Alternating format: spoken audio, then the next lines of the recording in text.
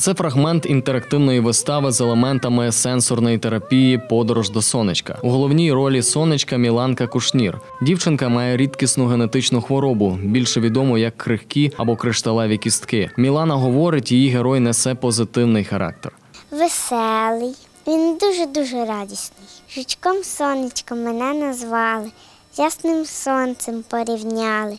Я гарний і око милую, та радість всім дітям дарую. Хворобу виявили два роки тому. Зараз дівчинка на індивідуальному навчанні. У театральному гуртку займається чотири роки, розповідає мати Лія Кушнір. І додає, її донечка до вистави готувалася самостійно. Цікавий проєкт ще тим, що вони е, кожен з діток вивчали лише свою роль, і вони тут не перетинались практично. Їй там, де от кількість діток, не можна бути, щоб ніхто не штовхнув, вона ніде не вдарилась, от постійно е, дивимося за цим. Вона знає, як вчити вдома ці сценарії вже не вперше, тому вона вчила там сама, вчила по скайпу з режисером.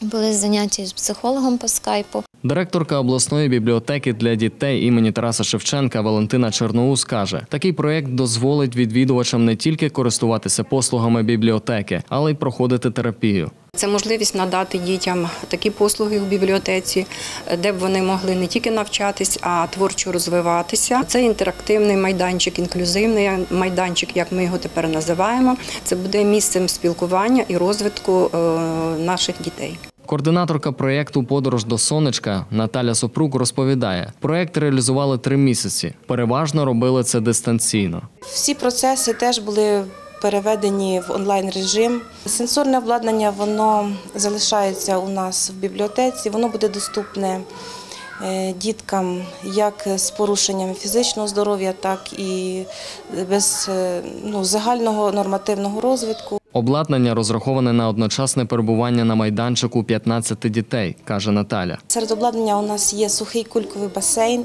сухий дощ, це тактильні відчуття, е, пісочниця. Потім у нас ще є е, доріжки масажні, килимки, модульний мікс, за допомогою яких можна використовувати як і меблі, так само і вивчати кольори. В режимі е, карантину ми не можемо одночасно, наприклад, не більше п'яти осіб розрахований в даний момент. Після кожного відвідування у нас протирається, дезінфікується обладнання. Андрій Гуманний, Владислав Васильчук, Дем'ян Цегольник. Новини на Суспільному. Хмельницький.